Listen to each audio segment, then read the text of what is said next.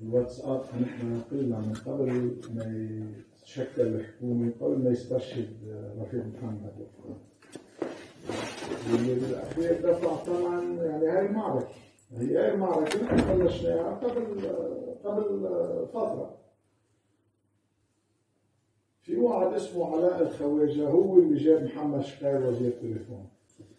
جابوا لوزير الهاتف علاء الخواجة بهدف معين بالهاتف هو حكي أنا حكيته من سنة قبل ما تشكل الحكومة. ونبهت سعد الحريري إنه اوعى تجيبوا لهذا هذا عم يقول إنه بده يجيبني علاء الخواجة مش سعد الحريري أنا. بمهمه معينه شو هي المهمة؟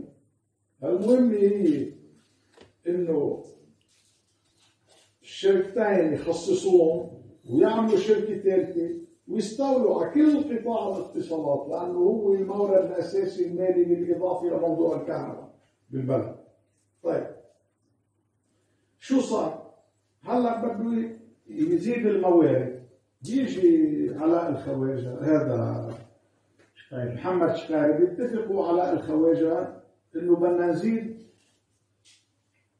الموارد الصفقه منين بدهم يزيدوا الموارد من الناس بيبعث محمد شقير لواحد اسمه أمري بركان أمري بركان هذا مدير عام ال MTC. وبيبعث لواحد ثاني اسمه مروان حايك مروان حايك مدير بألفا.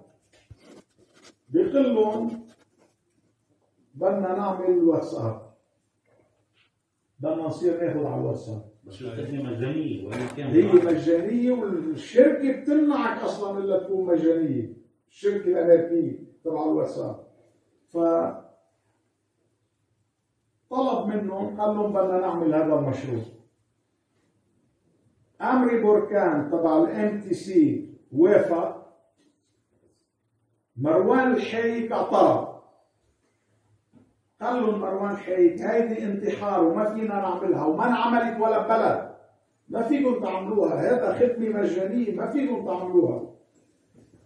ما كان يقنع هذا الدب محمد شفاك هو طلع في شكله أبله يعني واحد إذا بدك تصور البلاهة بتقول له محمد شفاك ولع البلد.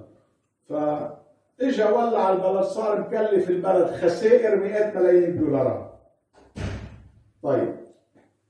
إجا محمد شفاك متفق هو وريمون رحمة ومعهم أخونا بنتأسف يكون يعني يوسف فريانوس مع ريمون رحمة.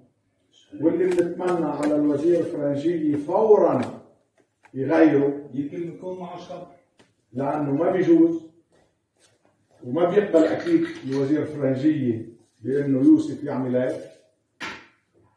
ويوسف هو وكيل لريمون رحمة. وهو عم يرتب هالموضوع معهم هالصفقة معهم. هلأ يمكن كمحامي عم يشتغل مش كشريك يصطفي تحقيق ببين هذا الأمر. بيجوا بيجيبوا بيعملوا التركيبة كلياتها بيركبوا التركيبة كلياتها وبيجوا بيضربونا بقصة الواتساب وبيتفجر البلد مثل ما صار ومن جمعتين ثلاثة ما بنعرف نحن بيشيلوا مروان حايك ما عرفنا ليش يشيلوه تاري مروان حايك معترض آه بيروحوا بيقنعوا هذا الغبي اللي اسمه نجيب ساويرس تبع الفا بيقنعوا له ساويرس بيقولوا له لازم نشيله لمروان حيك بيشيلوا حساب هذا الموضوع. مش قليلة والله ف آه، هيدي هي قصة الواتساب. الواتساب هلا أكثر شيء أقل شيء بتستبعد إنه سعر الحريري بأسوأ الحالات بالحد الأدنى إقالة محمد شقير وتبديل يوسف فنيانوس كممثل لطيار المردة على الحد الأدنى قصة الواتساب اللي فجرت البلد بهذه الطريقة اللي فجرته بس مش هي قصة الواتساب وفي قضايا ثانية كمان صحيح طيب مروا على الكهرباء كهرباء طيب مروا على الكهرباء طيب يا دولة الرئيس نبيل بري طيب بتعرف انت انه خليل إبراهيم معطل داير عمار من سبع سنين؟ حدا منكم سامع بخليل إبراهيم؟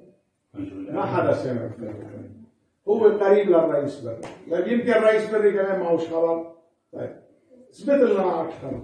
مش معقول يكون كده. طيب خليل إبراهيم يا أخي راح لعند مروان أبو فاضل. تلزم مشروع داير عمار من سبع سنين. راح لعند مروان أبو فاضل.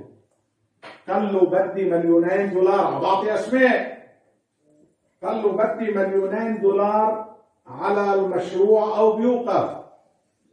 قال له خيي أنا مش مطالع مليونين دولار بالمشروع هو وكيل الشركة اليونانية. طيب. قال له بيوقف المشروع. قال له كيف بده يوقف؟ ما بلشنا. قال له راح يوقف. وقفوا له ليه طيب وقف المشروع.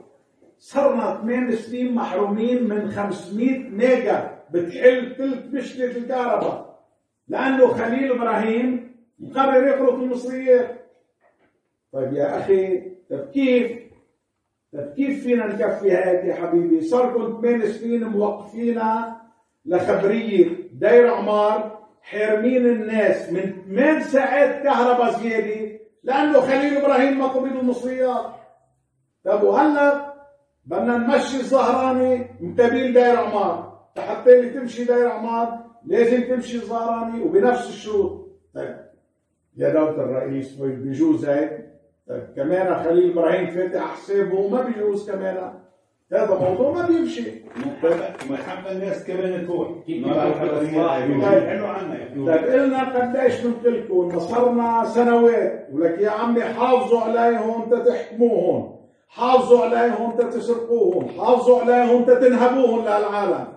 طيب بس إنه هالقد كمان ما بيجوز؟ كفي الأمور هيك. معك حق يا معلم والله